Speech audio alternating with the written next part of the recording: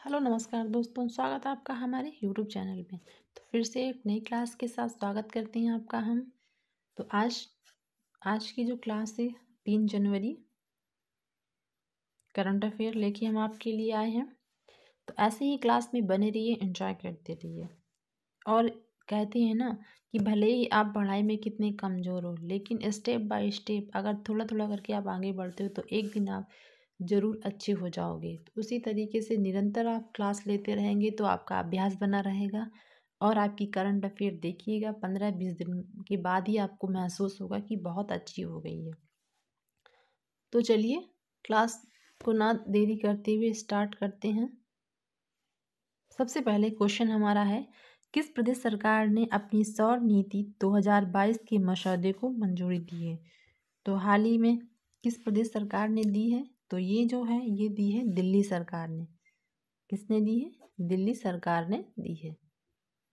अगला जो हमारा क्वेश्चन है, वो ये है, हाल ही में भारत और किस देश ने रक्षा और सैन्य सहयोग पर हस्ताक्षर किए हैं? तो भारत और किसने किए हैं? साइपस ने किए भारत और किस देश ने? साइपस देश ने सरकार हस्ताक्षर किए हैं। साइप्रस ने। अगला हमारा क्वेश्चन है, हाल ही में ब्रिटिश इंडियन आर्मी का नया मेमोरियल कहाँ बनाया गया है? तो जो British Indian army.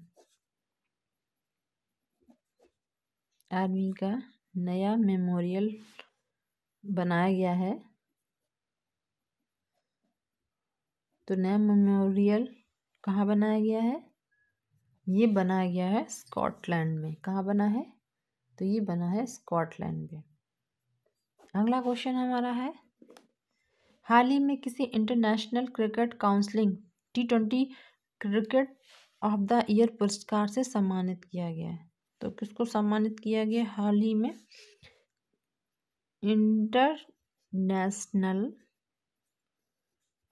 cricket council, international cricket council को शॉर्ट फॉर्म में आईसीसी भी कहते हैं।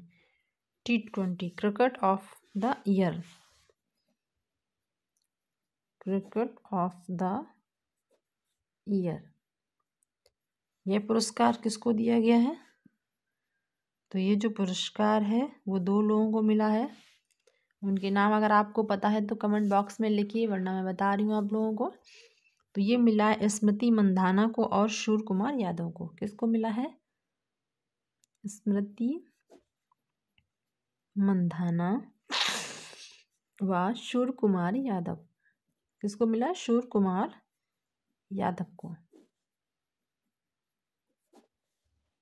अगला हमारा जो क्वेश्चन है वो ये है, हाल ही में आरटीआई जवाबदेही में सबसे खराब प्रदर्शन, यानी सबसे कम जवाबदेही करने वाला राज्य कौन सा है? हाल ही में आरटीआई में सबसे खराब जवाबदेही। देही सबसे खराब जवाबदेही का मतलब होता है सबसे कम जवाब देना, ठीक है? कम जवाब।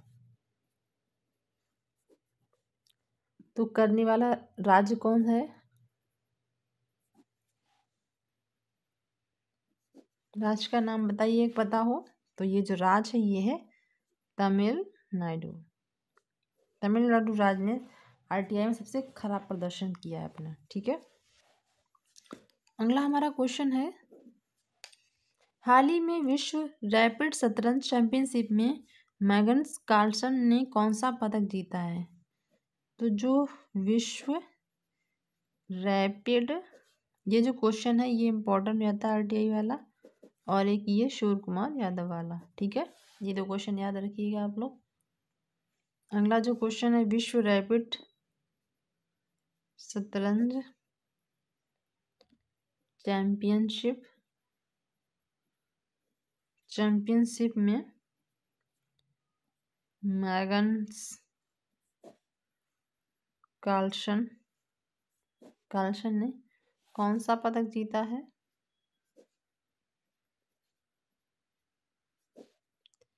तो जो इन्होंने पदक जीता है, उसका नाम है स्वर्ण पदक।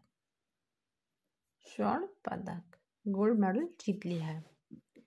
अगला हमारा क्वेश्चन है इसी में। हाल ही में किस राज्य सरकार ने लुप्त प्रजाति नीलगिरी तरण के संरक्षण के लिए परियोजना आरंभ की है? तो हाल ही में किस राज्य सरकार ने सरकार ने अगर आपको इसका आंसर पता हो तो कमेंट करिए तो, तो मैं लिख रही हूँ। लुप्त प्रजाति नीलगिरी तरह है मतलब हिरण के समान दिखने वाले पशु। हिरण के समान दिखने वाले पशु। संरक्षण की जो परियोजना है, किस सरकार ने की है? संरक्षण परियोजना आरंभ की है तो ये की है तमिलनाडु राज्य ने। किसने की है? तमिलनाडु ने की है। अगला क्वेश्चन है हमारा। हाल ही में किस राज्य सरकार ने चंद्रशेखर को आर्थिक सलाहकार परिषद के रूप में नियुक्त किया है?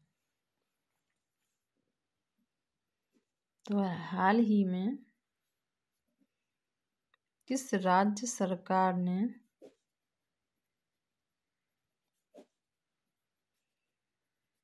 चंद्रशेखर चंद्रशेखर को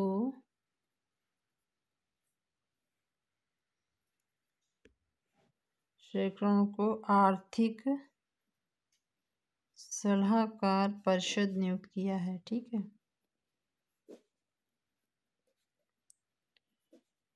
तो किस सरकार ने किया है? बताइए, अगर आप लोगों को पता हो तो ये किया है। हमारे महाराष्ट्र सरकार ने।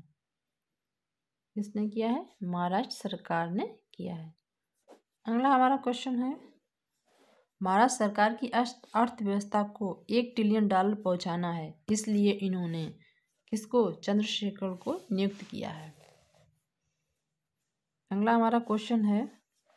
हाल ही में बॉम्बे स्टॉक एक्सचेंज ने किसे? एमडी और सीईओ नियुक्त किया है। तो हाल ही में Bombay stock exchange B S E से शॉर्ट फॉर्म में कहते हैं, ने एम डी व सीईओ किसको नियुक्त किया है, ठीक है?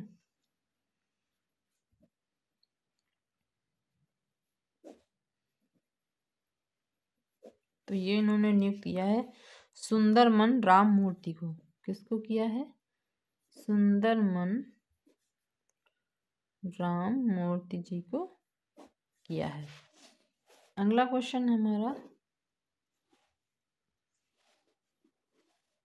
हाल ही में उत्तर प्रदेश की पहली महिला पुलिस कमिश्नर कौन बनी है? तो उत्तर प्रदेश की पहली महिला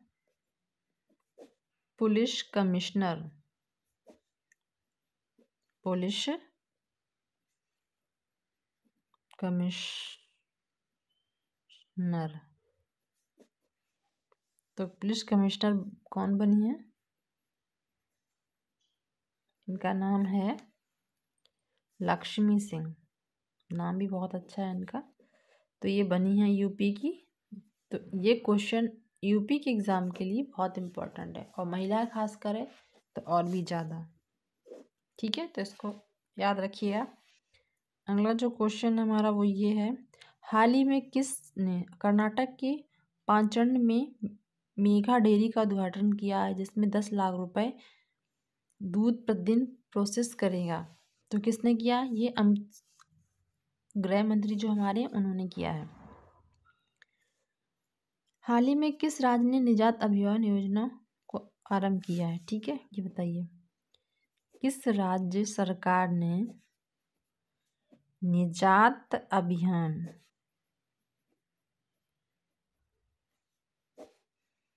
निजात अभियान को तो आइस कैप द्वारा पुरस्कार मिला है। किसको मिला है?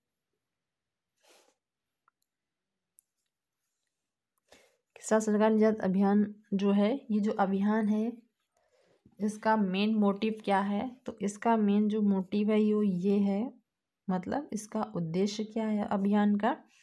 तो यह अभियान जो है, ये नशा विरोधी निजात अभियान है, ठीक है?